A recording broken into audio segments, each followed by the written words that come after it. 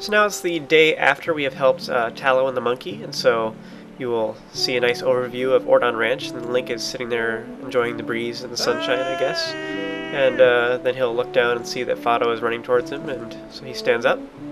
So it looks like Fado is, uh, he's, he comments to Link, he says, oh, well, you're going to go, so how about uh, herding the goats one last time? So next thing you want to do is you want to pick up the horse grass to uh, a Epona song of sorts, and then uh, this will make Epona come to you so that you can herd the goats.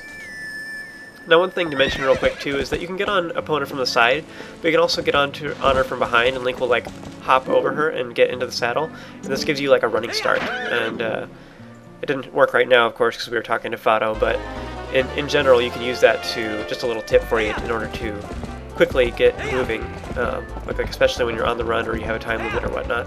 So now this uh, this time around we have the goats and we have uh, a time limit of sorts. We're trying to see how fast you can do it, uh, but also there's uh, 20 of them this time rather than just 10 like there was before.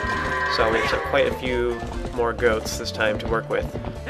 Uh, in any case, like I say, you want to kind of use a swooping motion to kind of get them in the right direction, and then you want to use the whoop button. If you whoop before they are facing the correct direction, then you will often get them to go like in the opposite area that you want them to go. For example, I accidentally hit some of those goats over here, and they are facing the wrong direction now because I whooped when they were facing sideways instead of towards the barn.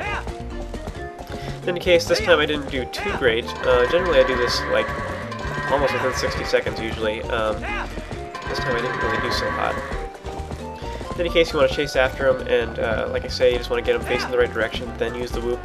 So like you'll see here, I followed him around, and then I started whooping at him. And this one, come back. There we go. Yay!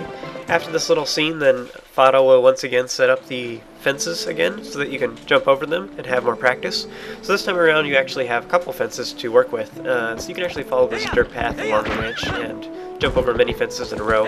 Um, I've had enough practice myself, so I'm just going to skip over this part, and I'm just going to use my spurs to jump over the gate and get back into the Ordon village. Now as soon as you enter and return back to the village, then you'll see a short scene in which um, Link is returning to the village. Ilia will see him and then call to her father, and then she will run up to see Link. I guess she's excited to see him. I like uh, Mayor Bo's little raised eyebrow thing here. He's all like, eh? Anyway, at this point, you actually see Link is talking to Ilia. You can see his mouth moving and stuff. This is the only part of the game where he's doing that, uh, so I'm not sure. He doesn't actually say anything.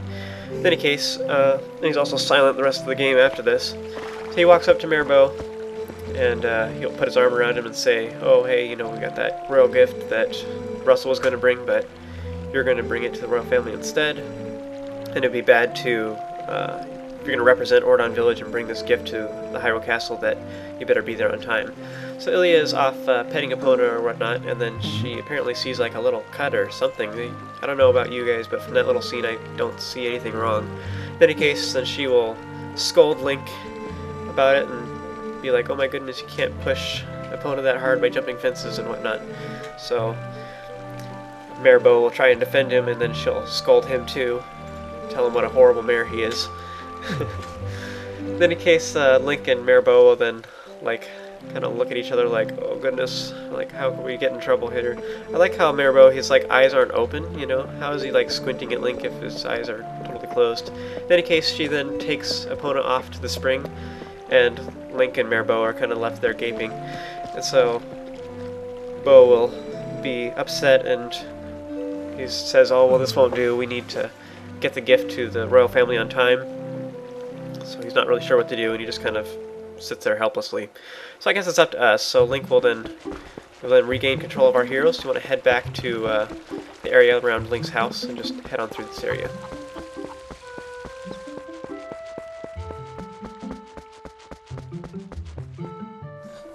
Once you head back into this area, then you want to walk forward, and uh, you'll be interrupted by Colin here, and he will he'll say that uh, Ilia's went on ahead, but uh, that Talo and Malo are normally they don't let people through into the into the woods and everything. So um, he asks like Link if he can go with him. Um, in any case, you want to walk over to Talo and Malo, and then Talo will get very excited and say how awesome it was chasing the monkey the other day.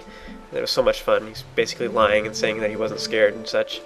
Um, So then Malo will say in his little tiny sarcastic text that he's like, "Oh, so you didn't get caught, huh?" So then both Talo and Malo will uh, be angry at Colin or whatnot because he uh, he told their told Rusl and Rusl told Jaggle and Jaggle scolded them. Malo makes the comment that, "Oh my goodness, I didn't think that my dad would stop talking, whatever.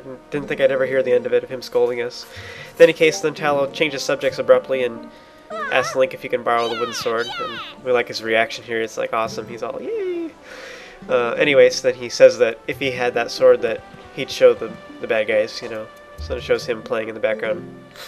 Colin then gets Link's attention and says, "Oh well, thanks. You know those guys are always teasing me."